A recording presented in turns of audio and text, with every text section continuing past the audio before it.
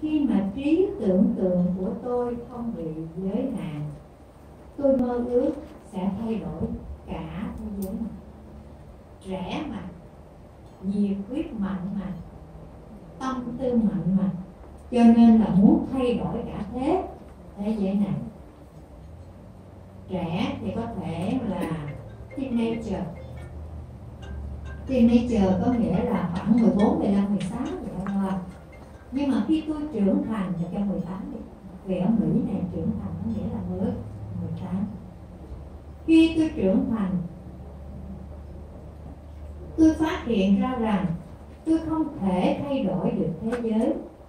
Tôi thu nhỏ lý tưởng của tôi lại và quyết định chỉ thay đổi đất nước của tôi. Mấy bữa là thay đổi cả thế giới, nhưng mà thôi bây giờ chỉ thay đổi một tiền đó là đất nước của tôi nhưng mà rồi tôi cũng suy nghĩ tôi chưa thể thay đổi được cái Hoa Kỳ này. Vì Hoa Kỳ này có tới 54 trưởng bang rồi 54 thống đốc rồi nhiều lắm nhiều lắm. Tôi không thể làm được. Khi tôi bước sang tuổi xế chiều xế chiều tức là mấy tuổi? Sáu chục. Sáu chục thôi quán dưỡng là xế dữ được không bác kim nhà mình còn xế dữ nữa, không bác kim của nhà mình là đại xế đó.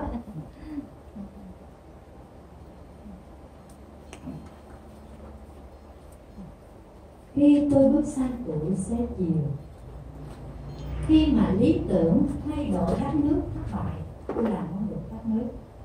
Thế giới không được thì đất nước không đại nguyện vọng cuối cùng của tôi chỉ là cái gì? Thay đổi gia đình à, à.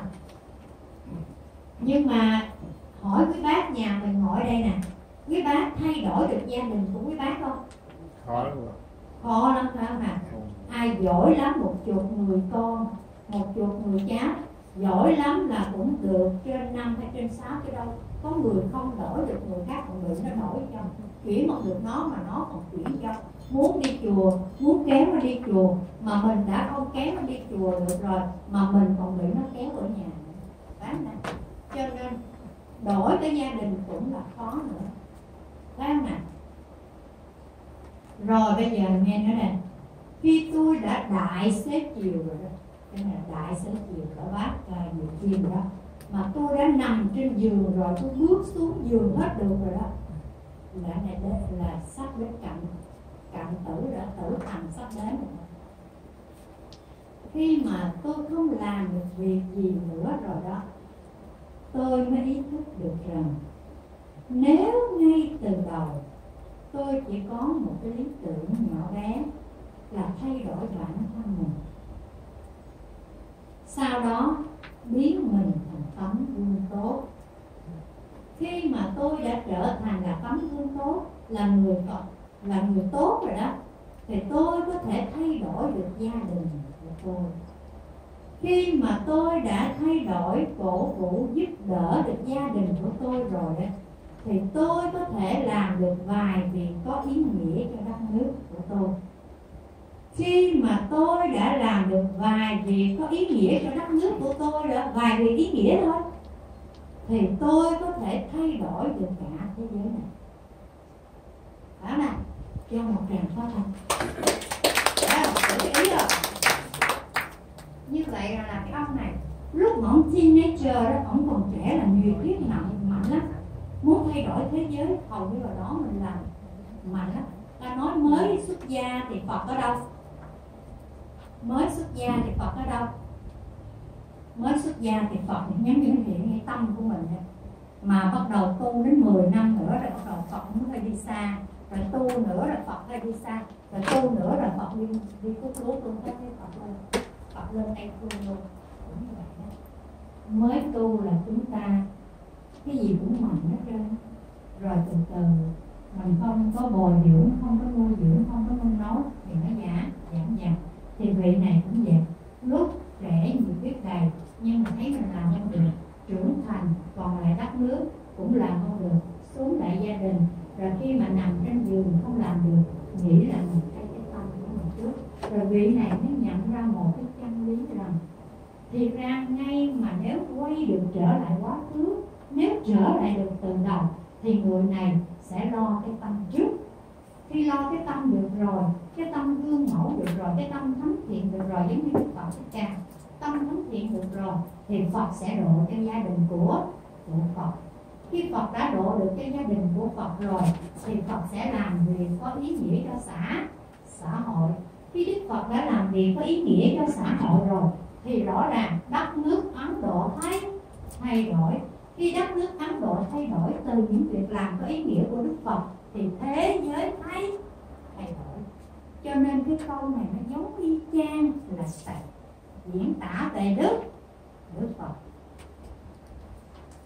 vì vậy, nhiều người nổi tiếng có tên tuổi, có chức vị trong chính trị, nhưng mà họ không có những cái cái câu nói xúc cảm, không có những cái tư tưởng, những cái lý tưởng như cái việc ngôi mộ vốt vô danh. Đây là một đoạn triết lý của đời người. Có người nói, đây là một bài học từ thức tỉnh đến linh hồn mà đứng theo quan điểm Phật giáo của chúng ta, thì sư Đế Hương nói, đây là mô tả sự tu tập của Đức Phật và thành tựu của Đức Đức Phật. Về đạo Phật của chúng ta chủ trương là tu gì? Tu tâm duy vì tâm. Hãy chúng ta tu được mình, gương mẫu được mình, đức hạnh được mình, giới luật được mình, trí tuệ được mình, chứng ngộ được mình, trong sáng được mình thanh tịnh được mình. Thanh vân vân tức là những cái đức hạnh của mình nó có rồi thì tự nhiên những người chung quanh sẽ ảnh ảnh hưởng. Gia đình ảnh ảnh hưởng. Xã hội ảnh ảnh hưởng. Đất nước ảnh ảnh hưởng. Và thế giới ảnh ảnh hưởng. Đức phật là người tượng trưng cho cái câu nói của cái vị vị này phải này. Cho nên rằng là nhiều người à, theo cái chân ngôn này mà về cai trị lại đất đất nước của mình. Ở trong đây có vẽ con kiến nè. Con kiến nhé nó nhỏ thôi nhé mà dưới ánh nắng mặt trời, nó bưng một cái khúc gỗ thiệt. Tuyệt vời. Ý nói rằng là dù sức của chúng ta nhỏ như con kiến, như chúng ta có thể vươn cả thế thế giới từ cái việc chúng ta tốt, tu tâm, từ cái việc chúng ta à, biết chỉnh tâm của mình không theo cái danh thơm không bị à, tức là mình làm sao mà có cái danh thơ có cái giá trị danh danh thơ bằng cái chất lượng hữu ích thế thế gian vân vân.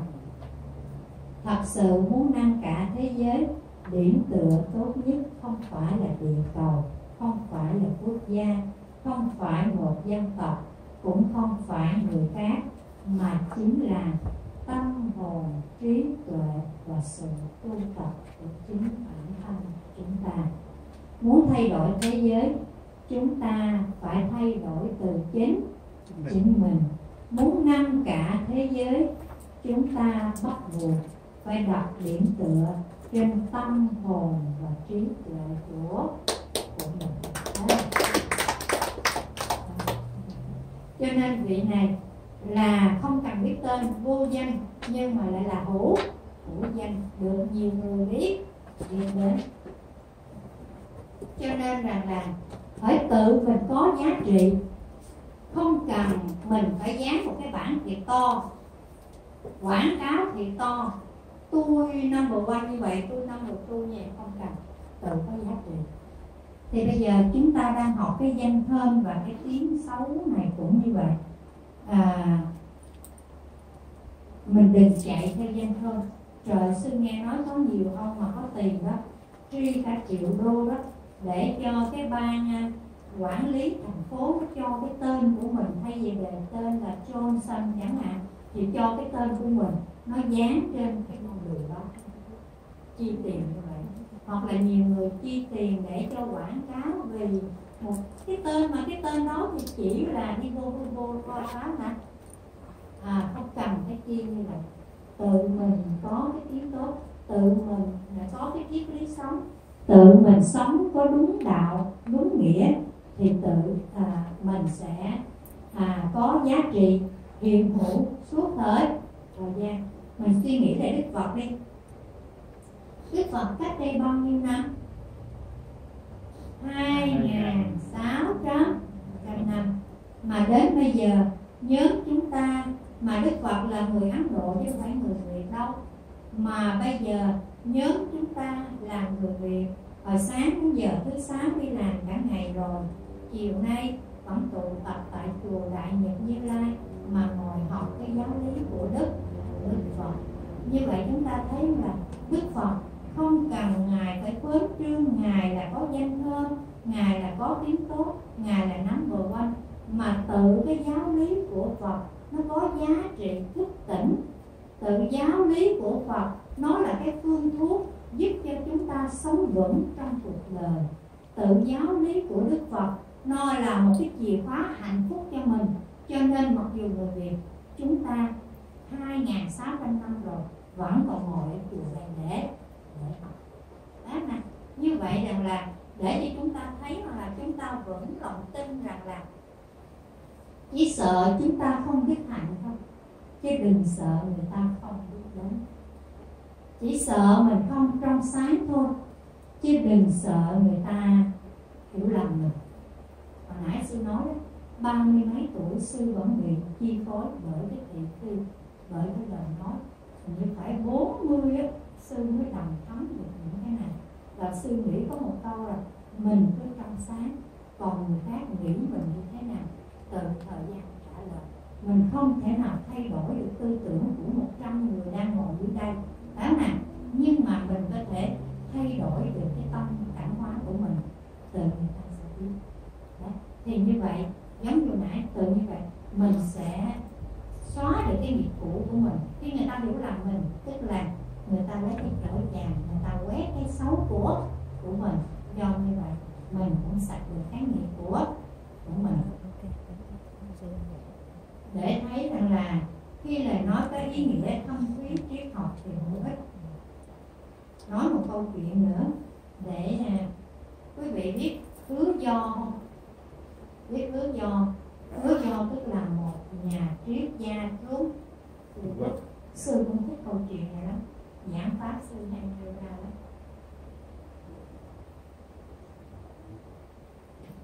Để mình thấy rằng này sư quý cái khuôn vàng phước ngọc của đức phật và chư tổ, nó giống như đó giống như là cái khuôn để nó đúc cái hình của mình. Tôi tưởng tượng giống như mấy bác dự kim, quả hồng làm bánh kinh gì đó. Bánh kinh mà cái khuôn mà nó hình chữ nhật, thì cái bánh kinh nó ra hình gì? Hình chữ nhật cái khuôn mà nó hình vuông thì cái bánh đinh nó ra hình hình vuông. Sư quý cái công hạnh của đức phật, quý công hạnh kia thánh chư tổ đã để lại cho mình những cái khuôn vàng thước ngọc và chúng ta đang ép mình trong cái khuôn đó. Để mình thánh đẹp đang nghe một cái khuôn nữa nè. Để mình thấy, mình có khuôn đó quá thâm thúy quá hay mà mình chưa ép được. Hứa do rất là đạo tu trên núi vua mới thấy rằng là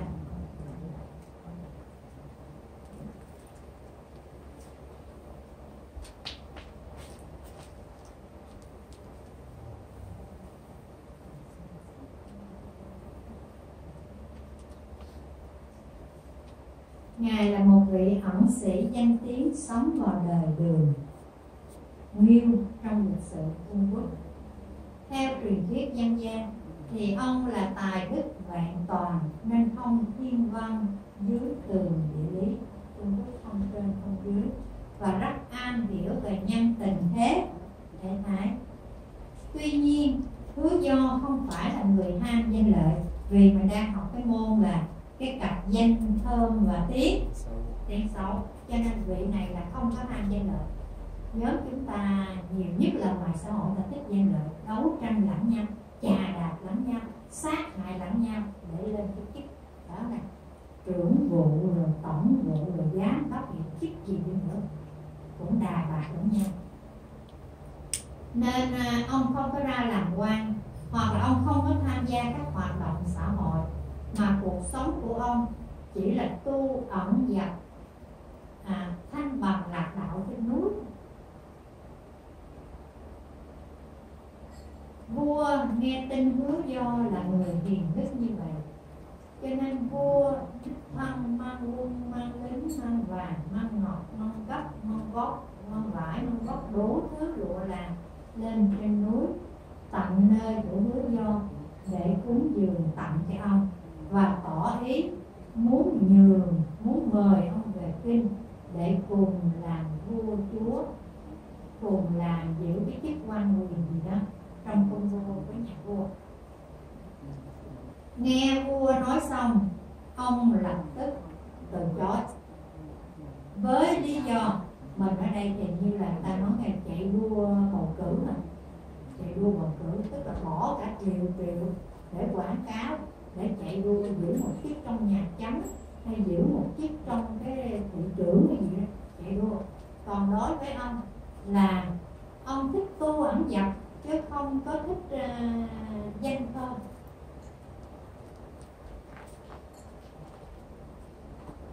không có thích bổng lộc. Và ông hết mực từ chối không thích làm chính trị và ông thích ở ẩn thôi. Và ông thuyết phục vua phải đi về chứ ông không có nhận.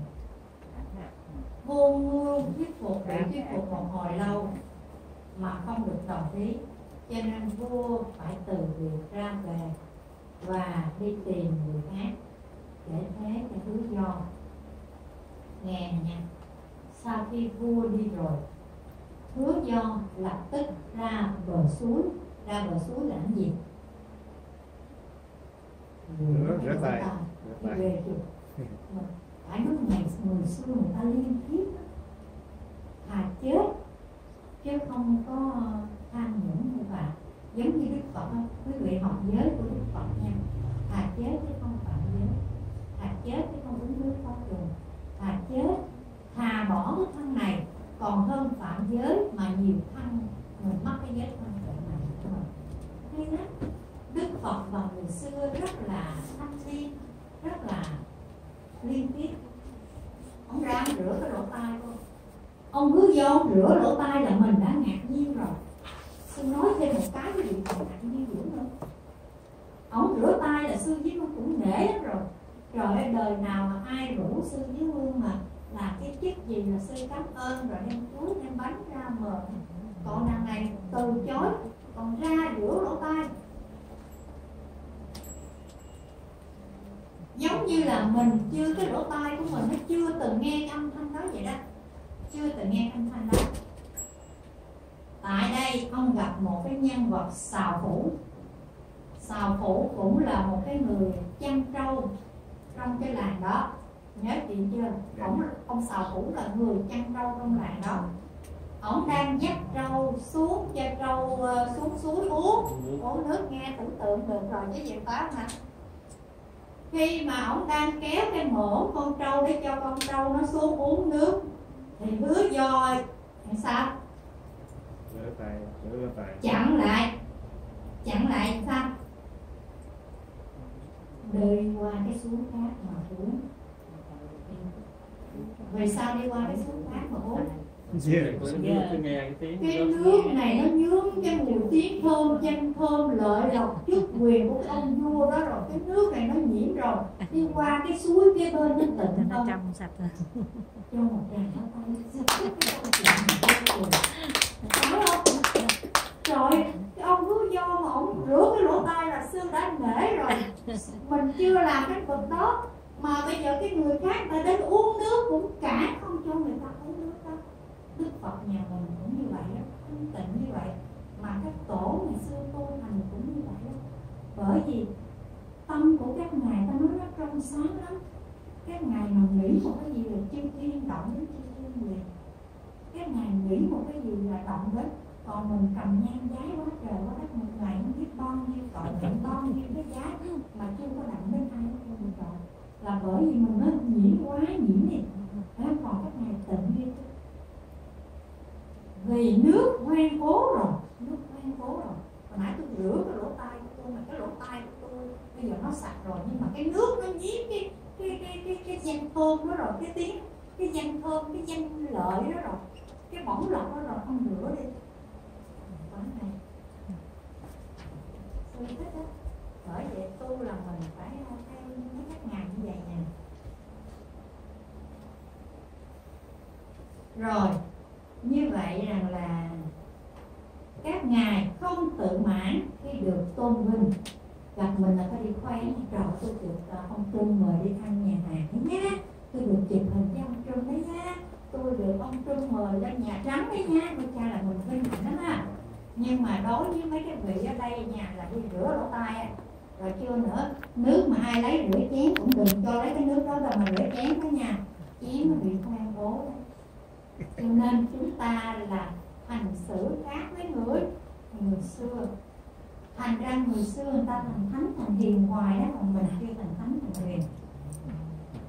Các ngài không danh dự vẻ vang trái lại các ngài vẫn giữ cái bình bình thản rồi à sư đi cái mình làm là dự đó. Bây giờ sư đi đến cái quỷ nè. Quỷ tức là chê bai hạ thấp nhân phẩm của mình. Quỷ quỷ gì đó? Quỷ nhục đó. Dạ quỷ là quỷ nhục nhé còn dự tức là danh dự tiếng ơn còn quỷ bác cô Thu Ngọc nhớ nha. Cô nhớ về dễ nhớ lắm. Dự tức là danh dự là tiếng ơn. Quỷ là quỷ nhục là che xấu. Rồi đi. Từ từ đó tiếng xấu chê bai hạ phẩm nhân phẩm của mình. Nó khiến cho mình khó chịu vô cùng. Ngày xưa sẽ khó chịu vô cùng. Bây giờ 55 tuổi rồi. Từ lúc 40 tuổi là sư kinh nghiệm cuộc đời sư là lúc 40 tuổi là sư nhẹ đối với cái này. Nhẹ thôi chứ chưa dứt. Nhưng mà bây giờ là 55 tuổi rồi là tương đối là à, à, ở ngoài nói gì nói phật tử thanh tịnh có nói gì nói trong đây sư vẫn thấy cò cò, tôi vẫn niệm cò cò. Nhưng mà ngày xưa mà ai nói gì cái là ngủ không được đấy. Mà nhớ là đi qua Ấn Độ học là cũng tiến sĩ, thạc sĩ là cũng lớn rồi đấy chứ. Nhưng mà vẫn bị xoay chuyển. Không biết mấy bác nhà mình mà bây giờ đã tự bớt bớt chứ bớt rồi bác mà bị xoay chuyển, còn xoay chuyển không? Tự mọi người phải biết cái khả năng của mình, phải biết cái trình độ của mình. Đó là ai chửi mình ai kia mà mình khóc lóc mình hí hửng mình biết mình cũng còn đứng ngoài cửa đấy. À, nghĩ một câu sư với hương có một câu mình quan trọng mình có trong sáng không? Mình có trong sáng thì người khác có hiểu lầm cũng không sao. Giống như da bò đó để trả cái quan của mình không sao. Sợ là mình không trong sáng đâu. Đó nhớ vậy là mình tự tại nó ngủ ngon đó. Ha rồi mình sẽ không thích khi nghe người ta chửi mình hay là cũng nhục mình. Càng khổ tâm hơn, nếu mà những ai nói bất công hay sai lạc về về mình.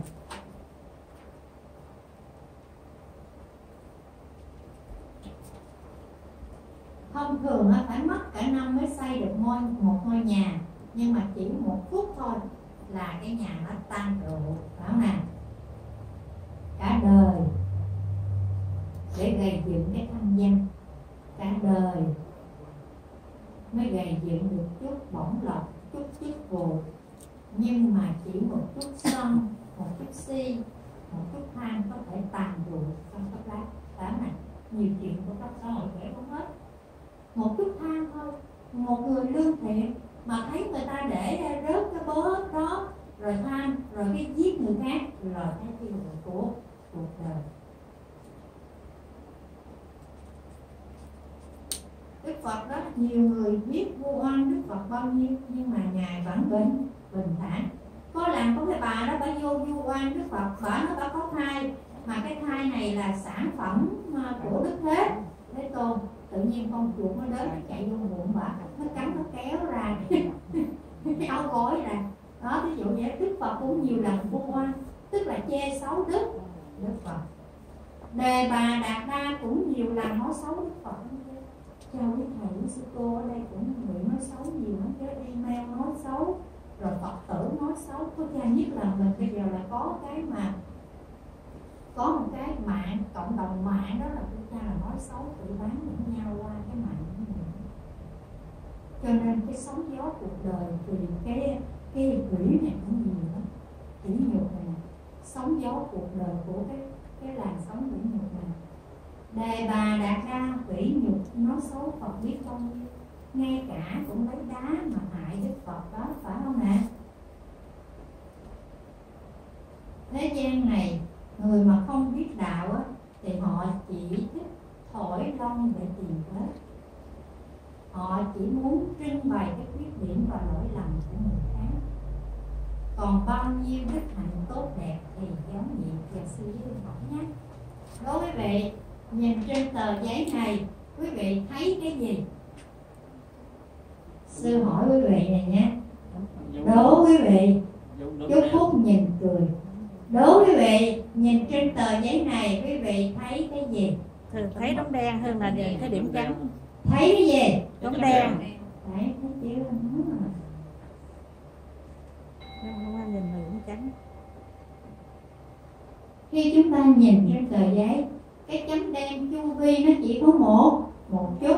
Nhưng mà cái chu vi của cái tờ giấy nó nhiêu nó rộng hơn. Nó trắng nó nó lớn. Nhưng mà khi sư hỏi thì có ai nói là tôi có thấy cái tờ trắng không mà mình nói tôi thấy cánh đen thôi? Ý là gì đa phần người ta chỉ thích thấy cái lỗi của người khác thôi. Người ta thích thấy cái ưu điểm của người khác. Cho nên cái cái dự cái hủy này tức là mình đè cái xấu của người khác rồi mình đè cái tốt của người khác. Mình thấy cái xấu của người khác cũng giống như cái tờ giấy ngày xưa nó đi lên phải không? Phải không? Cho nên cái làn gió này, mình cũng lây quay mình cũng không có khỏi cái làn gió này. Làn gió của quỷ, tức là quỷ nhục người người khác. Chúng ta thấy một cái dấu trắng nhưng mà chúng ta không thấy được cái đức hạnh trắng xung quanh của người người khác sư á, là sư tập lắm ngay cả cái người đó có xấu với mình.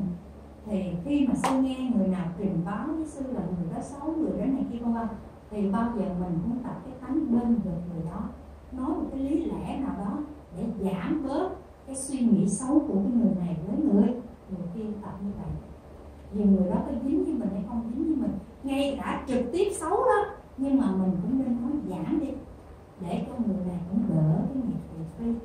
Đấy mà mình phải tập như vậy tức là mình tập thấy cái trắng hơn là thấy cái vết chấm chấm đen tại vì thiệt sự trên đời này trừ Phật ra có ai tốt một trăm phần trăm không? Không. Có ai xấu một trăm phần trăm không. Không. Có tốt có. Có xấu. Thì có lúc này có lúc lúc kia thì lúc này người ta đang vượt bội bệnh hoạn thì ta cáo thì thôi. Nhưng mà lúc khác người ta cũng dễ thương vậy. Tại sao mình không nhìn cái chỗ dễ thương của người ta? Mà cứ thấy cái chỗ mà lúc người ta đang bệnh ta cáo mình cứ vui vui ra phải mà cho nên mình phải tập binh vực và tập thấy cái trắng của người. Người ta. Cũng như vậy và à, cái quạt á mình đang có cái quạt nè. Cái quạt để ngoài ruộng để cho mình quạt đi những cái thóc những cái lúa lép để mình còn lại những cái gì? Chất. hạt chất. Chất. ok đúng vậy. Thì cũng như vậy à, quên đi những cái lép của người khác nhớ cái hạt chất của người người ta.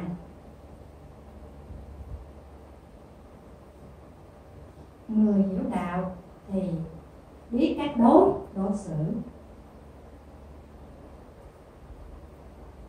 có một cái nhà triết học dạy cho mình cái cách quán này nè, ông này ông tên là Epictetus ông nói là nếu mà mỗi khi mình thấy người ta hiểu lầm mình, hoặc là mình thấy người khác vô tình hay cố ý mà nói xấu mình, thì mình tập quán vậy nè. May quá cái người A đó không có biết mình nhiều, cho nên chỉ nói xấu mình sơ sài thôi á. Chứ nếu mà người này mà biết mình nhiều hơn á, thì chắc mình còn bị chỉ trích nhiều nhiều hơn. Như vậy mình cũng tập là nhìn cái trắng của người. Đó đó hả nếu biết mình nhiều hơn thì sẽ nói xấu nhiều. Nhiều hơn. Cho nên rằng là không uổng phí thời gian để đi sửa sai những cái lời đồn đãi xung quanh. Ngày xưa chắc quý vị cũng có, mình thích đi nghe ai hiểu lầm mình là điện thoại, email là tiktok, ngủ công viên để minh oan minh đồ. Kia phá mà thì bây giờ, thái độ tu tập này, nếu không có phí thời gian để sửa sai những cái hiểu lầm thị phi đó, hoàn cảnh không bắt buộc thì chúng ta không cần phải sáng tỏ vấn đề. Vì đâu phải tòa án đâu đâu cần phải minh bạch trắng đen đâu, thì cũng không cần chứ niệm phật tụng kinh tự mình trong sáng người ta tự tự hiểu. Nếu hoàn cảnh không bắt buộc thì không cần phải sáng tỏ vấn vấn đề. Kẻ thù rõ sẽ thấy. Nếu mà mình sân giận lên thì kẻ thù, cái người mà muốn hại mình thì họ sẽ thích thích chỉ phá ra vì mình trúng kế của người người ta. Còn nếu người ta muốn mình điên mà mình không điên mình vẫn bình thản thì mình sẽ không không sao ta thản nhiên thì lời vu oan đó họ sẽ bị rơi vào hư hư không hay lắm đức phật hay lắm. Cũng cái chuyện mà à, danh thơm và tiếng xấu này đức phật nói rất là hay. Giống như bây giờ sư ngồi đây mà sư nhổ một cái cái, cái giọt nước miếng lên trên trời thì cái giọt nước miếng đó sẽ rớt xuống đâu? Rớt xuống mặt của của sư. Với người